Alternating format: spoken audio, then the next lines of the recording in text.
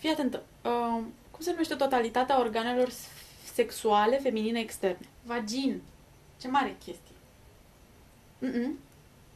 Îi zice vulvă. Cum mă? Am mă, știi tu sigur. Vulvă, mă, cică. Da, mă, nu te cred. Nu te scrie aici. Scriu ei acolo. Habar n-aveam.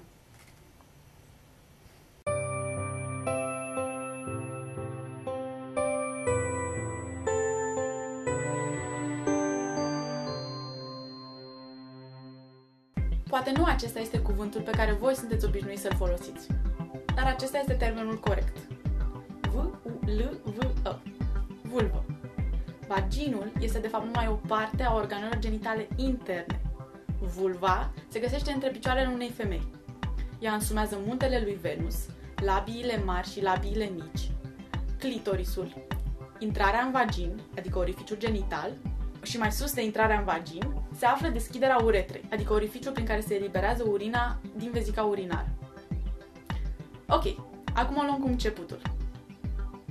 Muntele lui Venus este partea superioară a vulvei, formată din țesut adipos, care acoperă osul pubian. Se numește muntele lui Venus pentru că are aspectul unei mici ridicături și cineva la un moment dat l-a comparat cu un mic munte. Și se mai numește așa pentru că este parte din organele genitale ale femeii care au și funcții sexuale sau de iubire, iar Venus era zeița frumuseții, a dragostei și a fertilității în mitologia romană. O pomenim pe Venus și când vorbim de boli venerice, adică de boli care se transmit prin contact sexual. Deci, nicio legătură cu planeta Venus, deși planeta este numită după aceeași zeiță romană și este singura planetă care poartă numele unei zeițe și nu a unui zeu. Mai jos de muntele lui Venus există două perechi de labii. Labiile sunt niște pliuri care au rolul de a proteja clitorisul, uretra și intrarea în vagin. Prima pereche de labii, cele două labii de la exterior, cu care muntele lui Venus se continuă, sunt numite labiile mari. Labiile mari și muntele lui Venus sunt acoperite de piele normală, la fel ca pielea de pe mâini sau de pe picioare. Înainte de pubertate, adică înainte de perioada accelerată de creștere la sfârșitul căreia un copil a devenit adult, Labiile au cam aceeași culoare cu a pielii de pe corpul tău. Apoi, ele își pot schimba culoarea, um, tot în ton cu culoarea pielii tale. Deci variază între nuanțe deschise și închise de roz, bordeaux sau maro. Muntele lui Venus și labiile mari au diferite dimensiuni, de la persoană la persoană, în funcție de dimensiunea corpului și de structura osoasă pubiană, adică de oasele bazinului. Osul pubian este osul care se află chiar sub muntele lui Venus. El se continuă înspre labiile mari. De aceea, atunci când mergi cu bicicleta, vulva te poate durea, pentru că țesutul ei este presat între șa și osul pubian. Aha, acum știi la ce o să mă refer. De asta ciclistele, dar și cicliștii, poartă echipament special de protecție.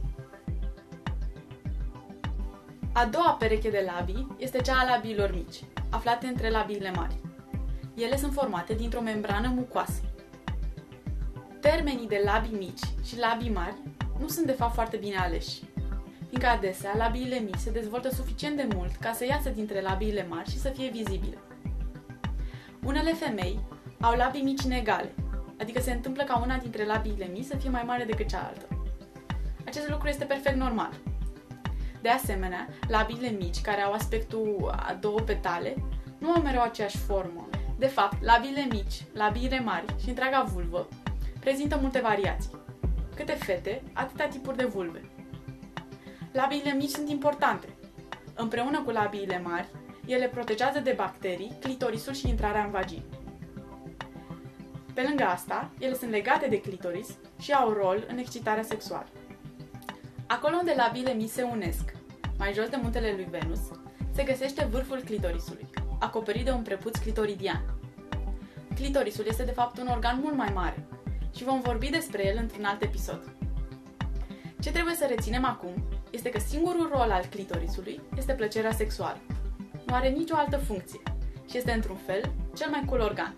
Mai jos de vârful clitorisului și mai sus de intrarea în vagin se află deschiderea uretrei, care este un mic pasaj prin care iese la exterior urina. Urina este produsă de rinichi și este depozitată în vezica urinară.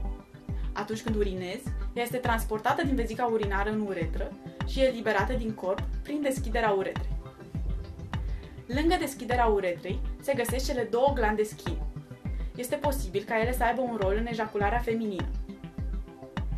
Echivalentul lor la bărbați îl reprezintă prostata.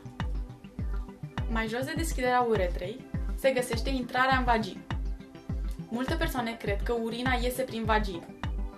Fals! Uretra și canalul vaginal sunt două pasaje diferite și cu totul separate. Urina trece prin uretră. Prin vagin se eliberează numai sângele menstrual. Asta înseamnă că dacă folosești tampoane interne, poți merge la toaletă fără a-ți schimba tamponul. Pentru că fiind eliberată prin uretră, adică printr-un alt canal decât cel vaginal, urina nu are niciun contact cu tamponul. În jurul intrării în vagin se poate sau nu afla o coronă vaginală, sau ceea ce voi cunoaște sub denumirea de himen. Mai vorbim despre asta. Și cam asta a fost. Mai trebuie să știți că mai jos de intrarea în vagin se găsește o porțiune de piele netedă numită perineu. Această porțiune de piele conduce la anus, deschiderea la exterior a rectului, care servește la defecare. Deci să recapitulăm. Avem vulva, formată din muntele lui Venus, labiile mari și mici, clitorisul, deschiderea uretrei și intrarea în vagin. Avem cele trei orificii, deschiderea uretrei, intrarea în vagin și anusul. Și mai avem cele două orificii de deschidere ale glandelor skin la nivelul uretrei, dar acestea sunt foarte mici și sunt greu de văzut. Cam asta a fost despre vulvă. Nu uitați, vulvă este cuvântul corect pentru organele genitale feminine externe. Dacă ai în general întrebări pe teme medicale, poți afla răspunsul scriind la întreabă at sexulversusbarza.ro Îți vor răspunde medicii Fundației Mary Stops International România.